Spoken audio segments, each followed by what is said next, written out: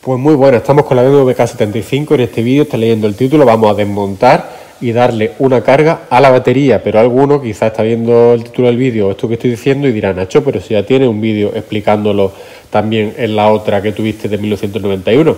Y tienes razón, tengo un vídeo explicando más o menos o casi todo lo que voy a enseñar en este. Pero este vídeo tiene dos particularidades. La primera, que esta batería vaya camino de bastante años, bastante años y ahí sigue. Y la segunda, pues la digo ahora cuando termine esta introducción. Empezamos.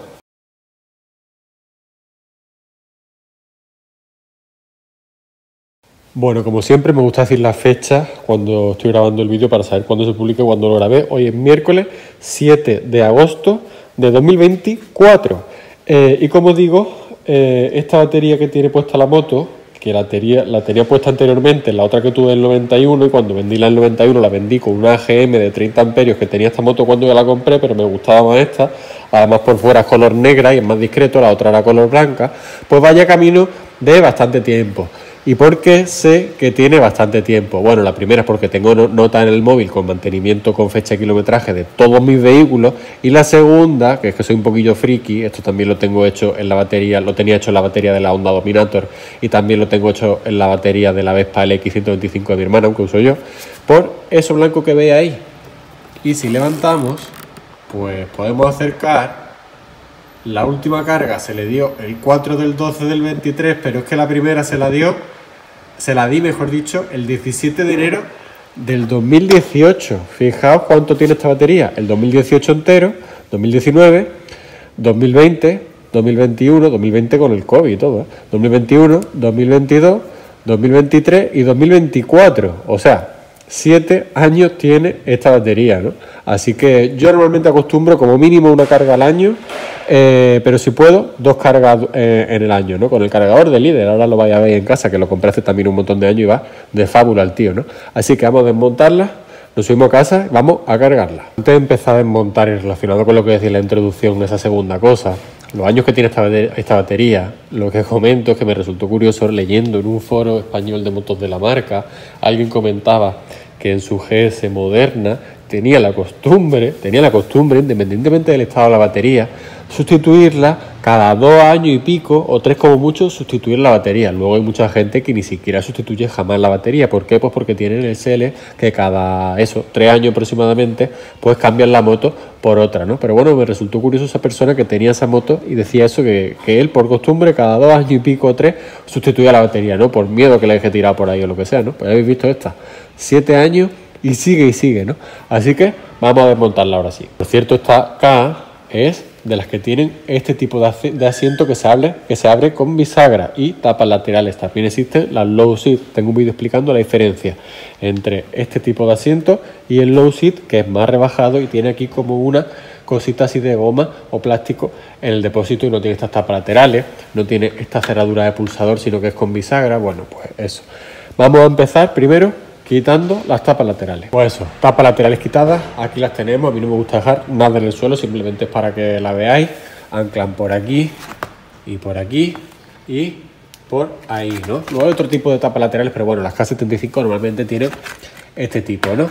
Así que lo siguiente, vamos a meter la llave y abrimos el asiento. Puesta la llave original, sabéis que es plegable y bueno, pues la metemos así.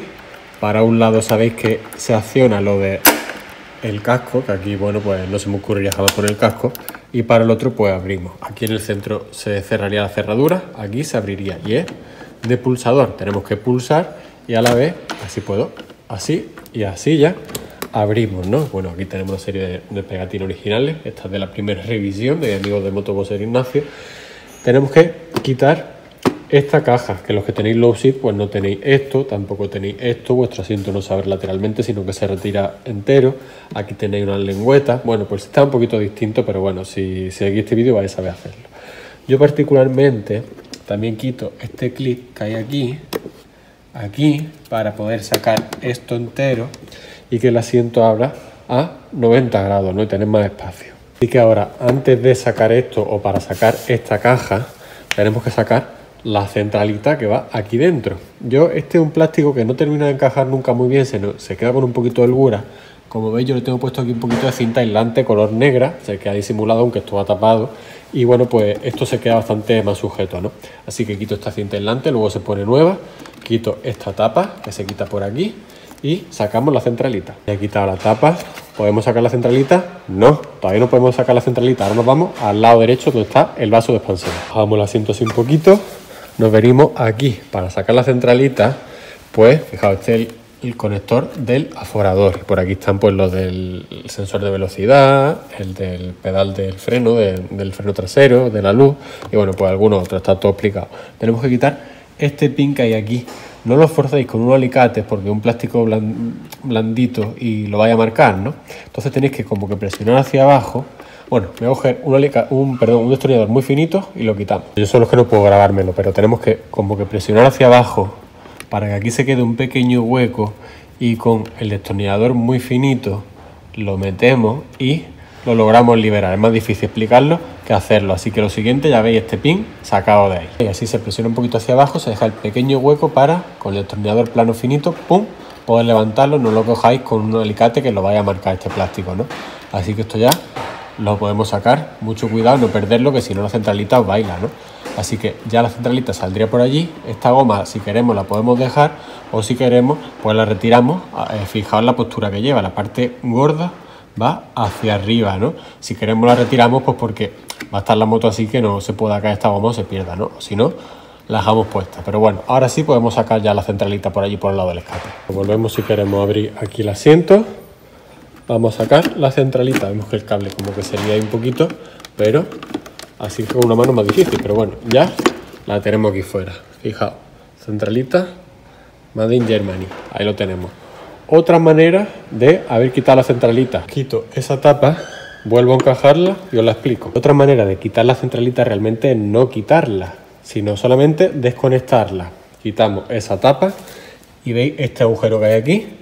Pues aquí hay una lengüeta que lo que hace es desconectar esto, la conexión de lo que es la centralita. Pero a mí particularmente cuando las cosas eléctricas funcionan y van bien, no me gusta andar conectando o desconectando independientemente de que luego limpiemos toda la conexión con limpiador de contactos, ¿no? Así que yo prefiero sacarla. Como digo, prefiero sacarla. Y una vez que la tenemos fuera, ¿qué hacemos? ¿La dejamos por ahí, le damos un golpe o lo que sea? No. Bueno, pues normalmente somos cuidadosos con nuestras motos, partimos de la base de eso, yo soy bastante cuidadoso y lo sabéis, pues la dejo, y esto lo he cogido de mis amigos de Motobosser, aquí y no pasa absolutamente nada. Fijaos, no se desconecta, no pasa nada, se deja cogida entre el estribo y la pata lateral. Eh, obviamente el escape está frío. Si tuviese el escape muy caliente, pues esto me lo pensaría, pero normalmente yo estas cosas trabajo con la moto fría, ¿no? La dejamos aquí cogida, esto no se va a caer, no pasa nada. Y ahora sí, podemos sacar, esta tapa la ponemos por aquí, por ejemplo, podemos sacar esto. Pero antes hay que, hay que quitar la conexión que hay ahí del aforador. Quitarla, simplemente sacarla de la lengüetita esta que hay aquí. Hacemos así. Es que con una mano es difícil grabar eso. Aquí la dejamos separada, ¿lo veis? Que se quede esta, esta lengüetita ahí suelta. Y ahora ya podemos sacar esta caja que hay bajo el asiento. La verdad que todo estoy explicando el paso a paso de cómo se saca la batería y tal. Eh, parece que se tarda muchísimo, pero esto en un minuto lo habéis hecho. Esto en un minuto está listo, ¿no? Estas piezas no me gustan a mí en el suelo, no me gusta tener piezas en el suelo, ni herramienta ni nada. Hacemos así y ya podemos sacarla. Y ya pues somos un poquito curiosos y podemos aprovechar y le damos una limpieza, ¿no? Con productos de los muebles, un trapo de microfibras, por ejemplo, o la metemos debajo del grifo, no pasa nada, es plástico. Esta caja, los que tenéis low seat, no tenéis esta caja, ¿no? Y ya tenemos aquí acceso a la batería. Y lo que vamos a hacer es que esta caja la vamos a poner aquí esto lo vamos a echar aquí y todo lo que vayamos desmontando, más lo que ya he desmontado, lo vamos a echar aquí. Yo tengo esa costumbre. Ahora llevo desmontado estas dos cosas. El clip de, la bisagra del asiento y este pin que sujeta la, centralita. Lo dejamos ahí, ahí no se va a perder. Aquí lo apartamos. Vamos a sacar la batería con este destornillador de estrella y ahí también. Que esto no tiene mucho misterio. Aquí, aquí. Si es vuestra primera vez, fijaos, esta parte ancla con el vaso de expansión. Y esto no hay que, no hay que pasarse apretando, porque si no machaca el vaso de expansión que es de plástico y no, no un plástico muy duro, ¿no? Así que lo sacamos estos dos tornillos. Pues lo tenemos fuera y lo tenemos fuera. Cuando vayamos a apretarlo, que el montaje no lo voy a grabar, obviamente al revés del, del desmontaje, cierto, dais mucho cuidado con esta goma no perderla, ¿eh? cuatro, otra aquí y otra aquí. Si queréis verla de cerca, fijaos cómo son. Son una especie de amortiguadores, ¿no? ¿Lo veis? Aquí ancla esa parte del chasis, esta parte. Si la ponemos aquí, no perderla, son cuatro. Luego por allí creo que ya va otra de la caja de, de, relé, no me acuerdo, pero bueno. Así ah, aquí. Una ahí y otra allí. En total son seis, pero los que sujetan esa caja son cuatro. Así que tenemos estos flojos, esto también flojo. Podemos sacarlo cuando vayamos a, montarlo, sobre todo esta parte. Una vez que notemos que los tornillos ya hacen un poquito de fuerza, giramos como mucho un cuarto de vuelta más y ya está, no hace falta machacarlo ahí. Esto sujeta la batería ya de sobra, ¿no? No hay que pasarse nunca apretando. Así que vamos a sacar esta pletina. Aquí la tenemos ya. Y como vemos en la rosca, un poquito siempre de grasa de cobre. Luego en el montaje, obviamente, le pondré grasa de cobre. Vamos a separar los tornillos de la, de la, de la pletina y los guardamos aquí. Así es como no se pierden las cosas, luego cada uno lo trabaja como quiera. Bueno, tenemos ya la batería aquí suelta, ¿la veis? Vamos a quitar estos, estas tapas de plástico transparente. Así, ¿lo veis? Ya levantamos y la sacamos directamente. Anclan por ahí, ¿lo veis? Allí. Y esta igual in situ. Ahí lo tenéis. También la añadimos ahí. Ahí no se pierden las cosas. Y ahora vamos a desconectar los polos. Vamos a cargar la batería. Siempre, siempre me guío por lo siguiente. Eh, vamos a cargar la batería, vamos a pasar de menos a más. Así que lo primero, quitamos el negativo, luego quitamos el positivo. Realmente si lo hacemos al revés, en este tipo de batería y tal, no pasa nada, ¿no? Pero la teoría dice esa. Primero quitamos el negativo, luego quitamos el positivo. En el montaje al revés, primero pondremos el positivo, luego el negativo. Y por cierto, hablando de negativo, una cosa importante. Pues hablando del negativo, una cosa importante es que anteriormente estaba grabando un vídeo sobre la 1300 GS, problemas que tienen con el relé del arranque, que puede salir la moto ardiendo y tal.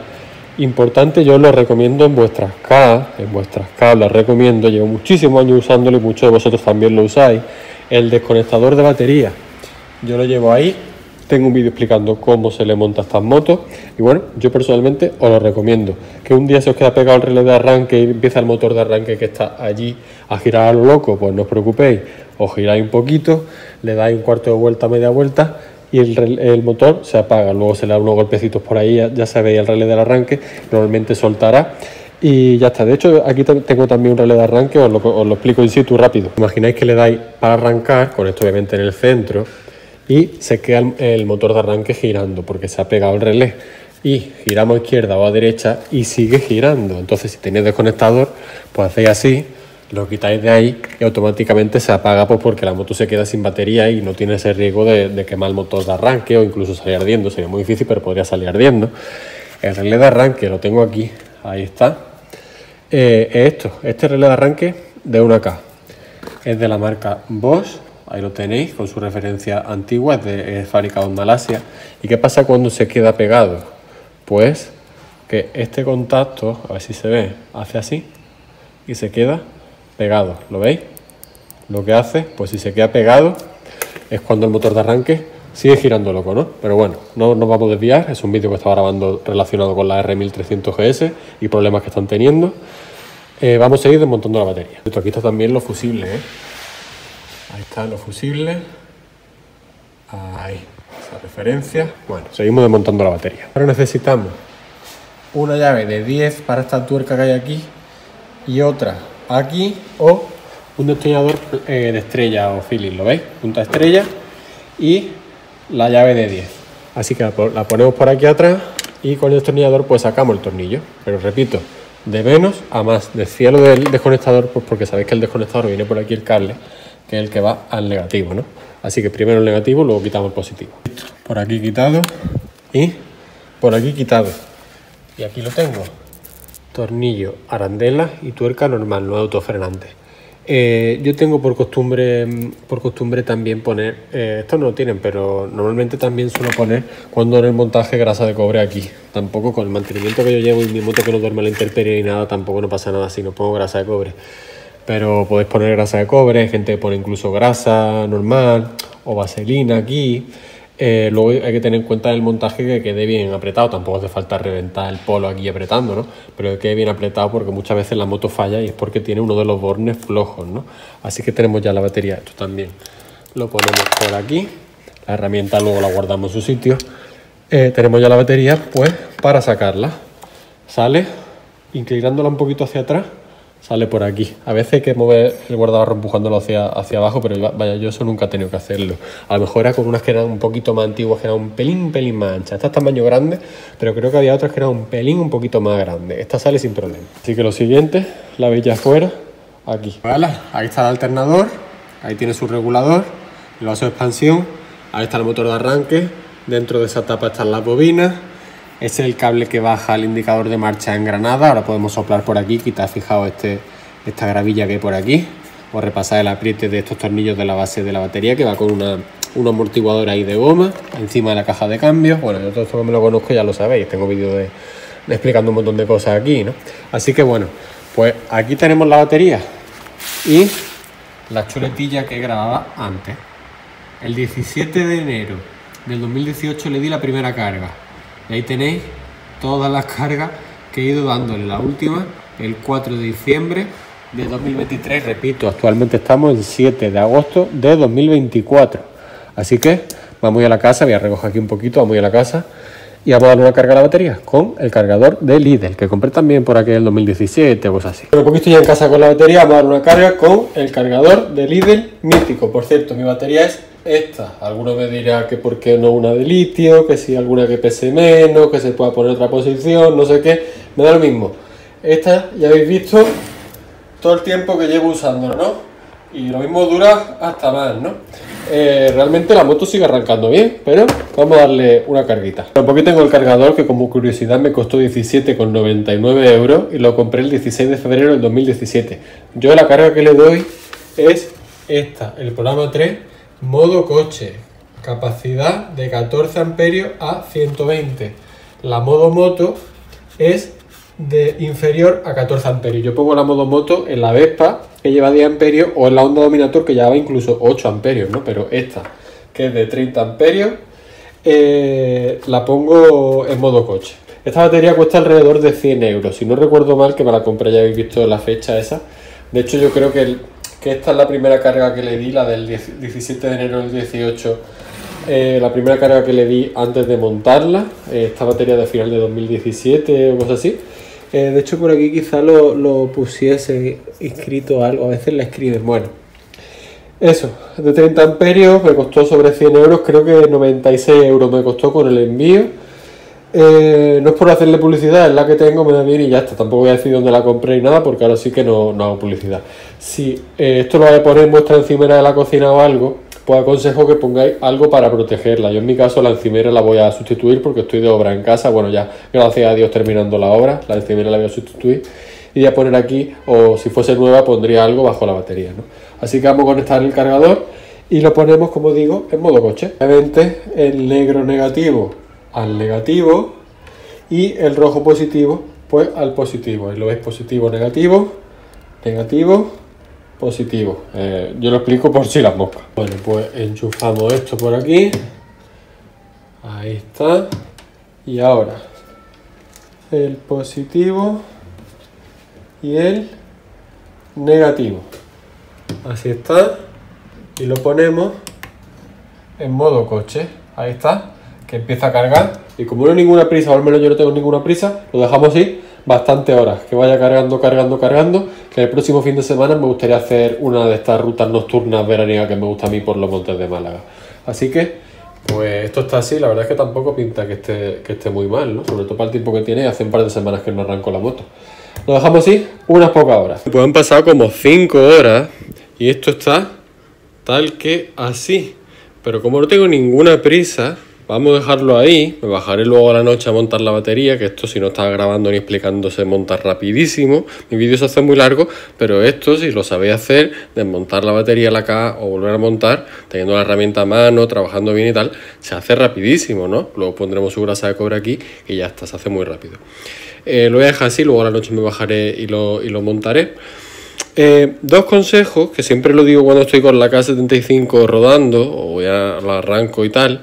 Siempre lo digo, que yo hago cuando voy a arrancarla, siempre arranco con la maneta de embrague cogida para que al motor de arranque le cueste menos mover el motor y siempre arranco también, aprovechando que en esta moto se puede, con las luces apagadas. Alguno me dirá, Nacho, si está en una carretera por la noche, no sé qué, ¿cómo vas a estar con la luz apagada encima de la moto?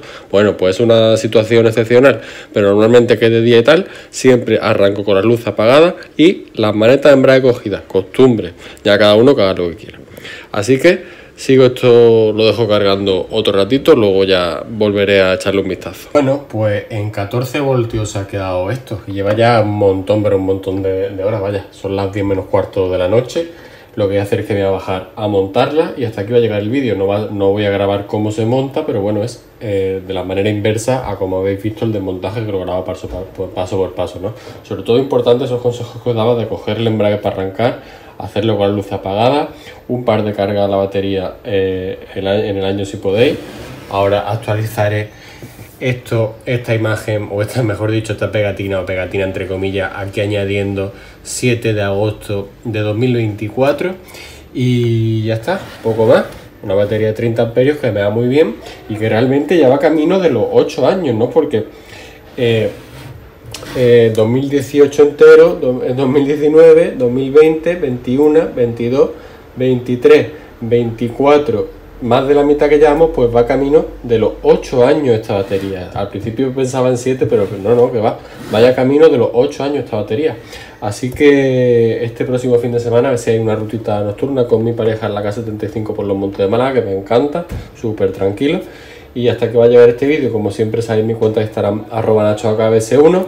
Aquí arriba a la derecha os dejo un vídeo, aquí el botoncito para que os suscribáis al, canal si os apetece. Eh, y también pues por aquí a la izquierda pues otro vídeo que os dejé de tantísimos que tengo de mecánica en esta moto BMW K75. De nuevo, pulgar en alto, un saludo de Málaga, ahora yo me lío de mecánica montando esto, esperemos que la moto vaya perfecto el próximo fin de, de rutita. Saludos.